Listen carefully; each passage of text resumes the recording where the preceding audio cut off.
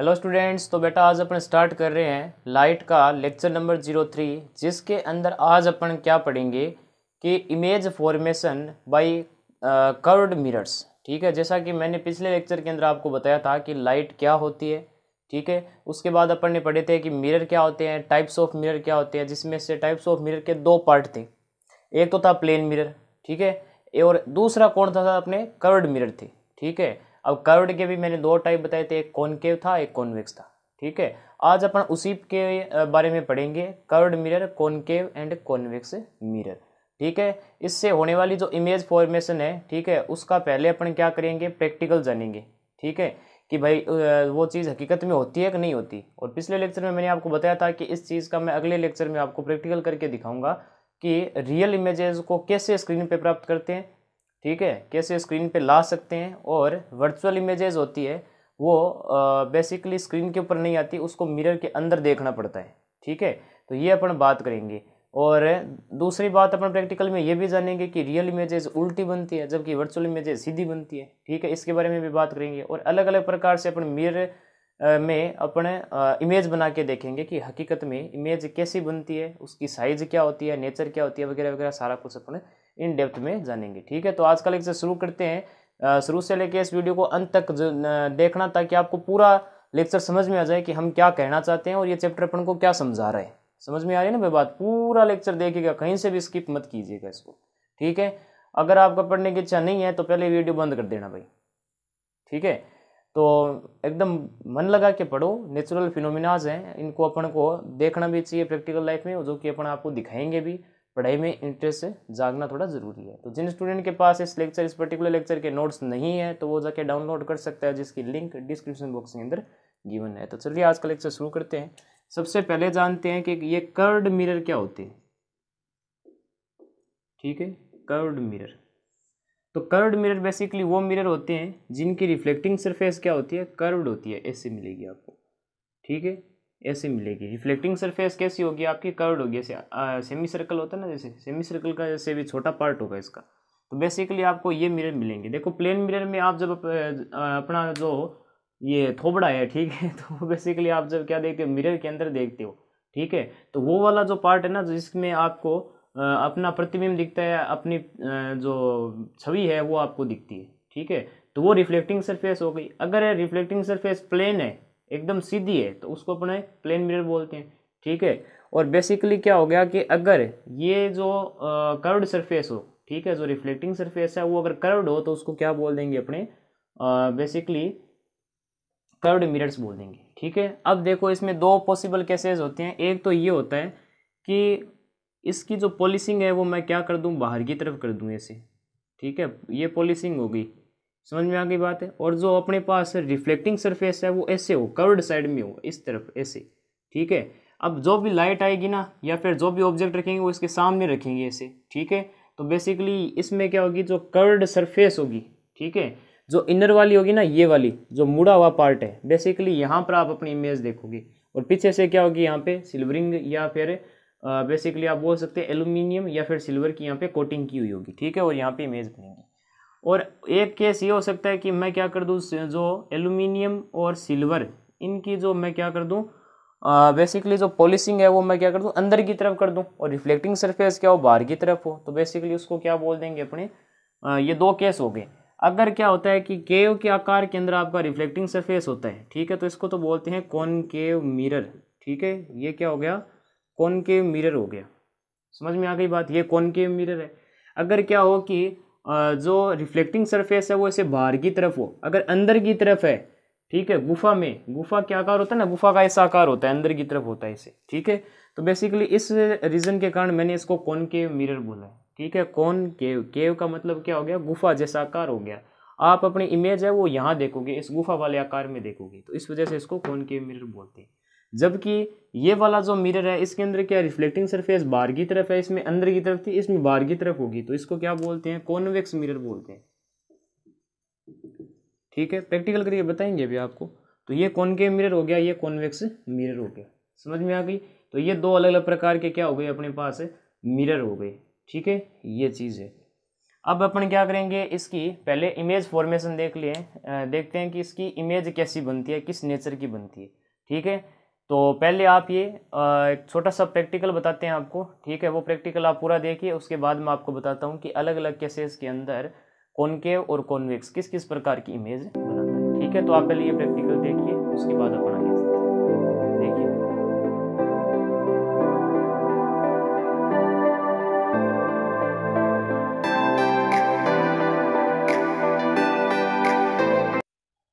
तो अब अपने प्रैक्टिकल देखते हैं इस चीज़ का। ठीक है इसके अंदर अपन को क्या करना है कि कॉनकेव और कॉन्वेक्स मिरर के द्वारा अपन को क्या करना है यहाँ पे इमेज फॉर्मेशन करके दिखानी है ठीक है? तो सबसे पहले मैं यहाँ पे कॉनकेव मिरर लूँगा ठीक है? कॉनकेव मिरर बेसिकली मैंने आपको बताया था कि जिसके अंदर बेसिकली क्या होता है कि इनर साइड के अंदर सिल्वरिंग की होती है ठीक है? जैसे कि आप यहाँ पे देख सकते हैं यहाँ क्या हो रखा है कि आ, ये सिल्वरिंग की हुई है ठीक है? मतलब ये रिफ्लेक्टिंग सरफेस है। समझ में आ रही है? और पीछे की तरफ़ क्या हुआ है? एलुमिनियम की कोटिंग की हुई है, ठीक है? तो यहाँ पे क्या हो रहा है? थोड़ा बहुत क्या है कि अंदर की तरफ़ घुमाव है, ठीक है? जैसे केव होती है ना, केव का मतलब समझते हो ना भाई? केव का मतलब क्या हो गया? गुफा आकार का, ठीक है? तो बेसिकली यहाँ पे आपको दिख रहा होगा कि ये गुफा का आकार है यहाँ पे, ठीक है? अंदर की तरफ़ यहाँ पे मतलब आप अपनी इमेज बना सकते हैं, ठीक है? और पीछे की तरफ़ यहाँ पे क्या है? एल्यूमिनियम की कोटिंग की हुई है, ठीक है? अब मैं यहाँ पे आपको क्या करूँगा? इमेज फॉर्मेशन करके दिखाऊँगा ठीक है? इमेज फॉर्मेशन के लिए बेसिकली आपको ये एक मिरर चाहिए होता है ठीक है? और मिरर के अलावा आपको कुछ एक और सामान की आवश्यकता होगी ठीक है? तो अब अपन क्या करते हैं यहाँ पे इमेज फॉर्मेशन करके दिखाएँगे ठीक है? तो ये मेरे पास एक स्टैंड है जिसके ऊपर आप क्या कर सकते हैं इसको आ, इसमें सेट कर सकते हैं जिसको मिरर या फिर लेंस होल्डर बोलते हैं ठीक है? मैंने इसको होल्ड करके इस पॉइंट पे रख दिया। ठीक है? अब ये जो बेसिकली पॉइंट लेने वाली कहानी है, ये आपको टेंथ में समझ में आएगी। ठीक है? मैंने यहाँ पे कुछ मार्किंग करके रखी है, ये आप टेंथ के अंदर जानोगे। समझ में आ गई बात? है अब यहाँ पे क्या करना है? मेरे को ऑब्जेक्ट है, वो लेना है। मान लो मैंने कैंडल ले ली। ठीक है? अब इस कैंडल को मेरे को बर्न करवाना है। ठीक है? तो आपसे ये बेसिकली रिक्वेस्ट रहेगी कि आप ऐसा कुछ भी कर पे ना करें। ठीक है? तो बेसिकली मैं क्या करता हूँ कि इस कैंडल को मैंने यहाँ पे जला दिया है। ठीक है? अब कैंडल को जब मैंने यहाँ पे जलाया तो ये मेरे एज ए ऑब्जेक्ट बन जाएगा, ठीक है? अब अलग अलग जगहों पे मैं क्या करूँगा? इसको रख के देखूँगा और इमेज कहाँ कहाँ बन रही है, ये मेरे को जानना है। समझ में आ गई बात? है अब देखो बेसिकली मैंने यहाँ पे क्या कर दिया है? एक कैंडल जला के मान लो मैंने इतनी दूरी पे रख दी, ठीक है? इस दूरी पे रख दी। लेंस से ये दूरी कम से कम साठ से सत्तर सेंटीमीटर की दूरी पे है। ठीक है? अब मेरे को क्या करना है यहाँ पे?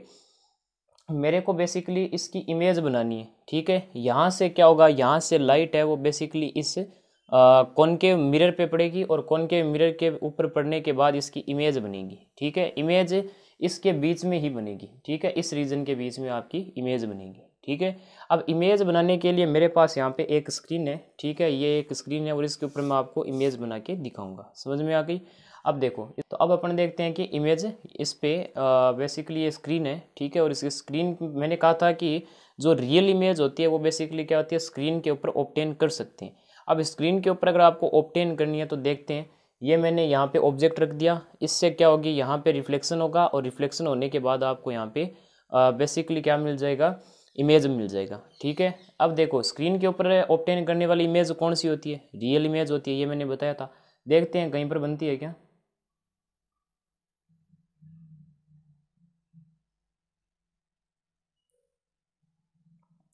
ये देखो। शायद आपको ना दिख रही हो। ठीक है तो मैं थोड़ी लाइटिंग है, वो आपकी ऑफ़ कर देता हूँ। आप देख रही है? ये देखो, यहाँ पे, इस पॉइंट पे आपको क्या दिख रही है? इमेज दिख रही होगी। ठीक है? इमेज दिख रही है ना भाई? एकदम क्लियर इमेज दिख रही है, एकदम छोटी इमेज दिख रही है पर। ठीक है? एकदम छोटी इमेज दिख रही है आपको। यहाँ देख रहे हो क्या? इस पॉइंट पे मैं, इस स्क्रीन के ऊपर देखो भाई। यहाँ पे आपको एकदम छोटी सी इमेज दिखेगी मोमबत्ती की। समझ में आ रही है बात? है अब यहाँ पे देखो जैसे जैसे मैं यहाँ पे क्या करूँगा, इस मोमबत्ती को आगे लेके आऊँगा, ठीक है? मान लो मैंने मोमबत्ती को उठा के और यहाँ ला के छोड़ दिया, ठीक है? अब देखते हैं इसकी इमेज आपकी कहाँ बनती है। ये देखो, इमेज अभी भी छोटी बन रही है, ठीक है? इमेज अभी भी छोटी बन रही है और स्क्रीन के ऊपर आप ला रहे हो इस चीज़ को। ठीक है स्क्रीन के ऊपर ला रहे हो, इसका मतलब क्या हो गया? रियल इमेज है। अच्छा मैंने एक बात भी बताई थी कि रियल इमेज हमेशा उल्टी बनती है। देखो, मोमबत्ती सीधी रखी है, पर इमेज कैसी बन रही है? उल्टी बन रही है। ये चीज़ देख पा रहे हो क्या आप? ठीक है, अब मान लो मैं इसको क्या करता हूँ, थोड़ा और आगे लेके आ जाता हूँ। तो बेसिकली अब आपकी देखो इमेज कहाँ बन रही है? इमेज लगभग आपके यहाँ बन रही है, ठीक है, और अभी भी थोड़ी छोटी है, ठीक है। मान लो मैं इसको यहाँ ला के छोड़ देता हूँ, ठीक है तो अब यहाँ पे क्या होगी? एकदम बराबर साइज़ की आपकी इमेज बनेगी, ठीक है? ये चीज़ है। अब मान लो मैं क्या करता हूँ, अगर इसको यहाँ ला के छोड़ देता हूँ, ठीक है? तो बेसिकली जो आपकी इमेज है, ठीक है, वो यहाँ बनेगी। लगभग इसके पीछे की तरफ़ आपको ये दिखाई देगी, ठीक है? ये आप देख पा रहे हो क्या? यहाँ पे, इस जगह पे आपको इमेज दिख रही होगी, ठीक है? तो ये हो गया फंडा। अब जैसे मैं मान लो यहाँ पे रख के छोड़ देता हूँ तो इमेज काफ़ी बड़ी बन जाती है, ठीक है? और इसको आप स्क्रीन के ऊपर नहीं ला सकते बेसिकली ठीक है? पर बनेगी। यहाँ पे क्या होगी? इमेज तो बनेगी। अब मान लो मैं इसको आगे और किसका देता हूँ तो अब यहाँ पे बेसिकली क्या होगा कि एकदम जब मिरर के पास लेके आ जाएँगे, कौन के मिरर के जब पास मोमबत्ती लेके आ जाएँगे तो आपको यहाँ पे बेसिकली इमेज है, वो एकदम क्लियर नहीं दिखेगी, ठीक है? यानी कि आपको स्क्रीन के ऊपर नहीं मिलेगी। स्क्रीन के ऊपर नहीं मिलेगी, इसका मतलब क्या हो गया? वर्चुअल इमेज है। मान लो मैं इसको यहाँ ला के छोड़ देता हूँ, ठीक है? अब आपको देखो, जैसे मैं इसके एकदम पास लेके आता हूँ तो आप यहाँ पे इसकी इमेज बनती हुई देख सकते हैं। और ये इमेज बेसिकली क्या हो गई, ये देखो यहाँ पे। सीधी इमेज बन रही है, और परंतु बन कहाँ रही है ये? मिरर के अंदर बन रही है स्क्रीन के ऊपर नहीं बन रही है, ठीक है? अगर स्क्रीन के ऊपर बनती तो बेसिकली क्या हो जाता, वो रियल हो जाती। पर अब स्क्रीन के ऊपर नहीं मिल रही है, और सीधी इमेज मिल रही है, पर बहुत बड़ी इमेज मिल रही है, ठीक है? तो ये बेसिक आपके यहाँ पे फंडा हो गया ये चीज़ समझ रहे हो? ठीक है? तो ये बेसिक आपका क्या हो गया? कॉनकेव मिरर से इमेज फॉर्मेशन आपकी यहाँ पे कंप्लीट होती है। ठीक है? अब अगर मैं बात करूँ कॉन्वेक्स मिरर की तो कॉन्वेक्स मिरर मेरे पास ये रहा, ठीक है? और कॉन्वेक्स मिरर में ये बाहर की तरफ़ आपको क्या दिख रहा होगा? ऐसे दिख रहा है, ठीक है? ये जो आपकी रिफ्लेक्टिंग साइड है, वो थोड़ी क्या हुई है? बाहर की तरफ़ आई हुई है, ठीक है? और इसको मैंने क्या नाम दिया था? कॉन्वेक्स नाम दिया था, ठीक है? तो ये मेरे कॉन्वेक्स एक मिरर है और कॉन्वेक्स मिरर को मान लो मैं अगर यहाँ रख देता हूँ तो ये हमेशा सीधी इमेज बनाएगा और कभी भी आप इससे बनी इमेज को किसके ऊपर नहीं रख सकते? बेसिकली स्क्रीन के ऊपर नहीं आएगी ये, ठीक है? मेरी जो स्क्रीन है, अब इसका काम ख़त्म हो गया। स्क्रीन अब आपको यहाँ पे नहीं दिखेगी, ठीक है? अब जितनी भी आप इमेज देख पा रहे होंगे, देखो यहाँ पे अगर आपको इमेज दिख रही होगी तो छोटी इमेज दिख रही होगी और एकदम सीधी इमेज दिख रही होगी। ठीक है मिरर के अंदर मिलेगी स्क्रीन के ऊपर नहीं। अब मिरर के अंदर नहीं मिल रही है, इसका सॉरी ये आपके स्क्रीन के ऊपर नहीं मिल रही। इसका मतलब क्या होगा ये real image basically real image ये नहीं है, ये वर्चुअल इमेज है जो कि मिरर के अंदर दिख रही है, किसी स्क्रीन के ऊपर नहीं इसको ऑप्टेन कर सकती। ठीक है तो बेसिकली यहाँ पे आपको क्या दिख रहा होगा, मोमबत्ती की जो इमेज है वो बेसिकली इसके अंदर दिख रही होगी, पर बहुत छोटी इमेज दिख रही होगी। ये चीज़ एकदम क्लियर हो रही है ना भाई? अब यहाँ पे आप देख सकते हो, देखो। ठीक है यानी इमेज जो बन रही है, वो सीधी इमेज बन रही है यहाँ पे। और स्क्रीन के ऊपर नहीं मिरर के अंदर बन रही है। इसका मतलब वर्चुअल इमेज है और वर्चुअल इमेजेज हमेशा सीधी होती है। ठीक है? तो यहाँ से आप देख सकते हो कि कोई भी प्रकार का आप यहाँ पे इमेज स्क्रीन के ऊपर नहीं ला सकते। देख लो, यहाँ कहीं पर भी इमेज नहीं बन रही है, जबकि वहाँ बन रही थी।